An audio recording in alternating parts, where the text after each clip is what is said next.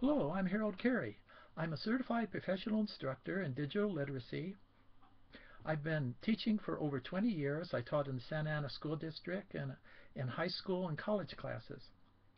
I'm going to teach you how to learn all about how to use computers, how to turn them on, how to use the internet, email, and all these things.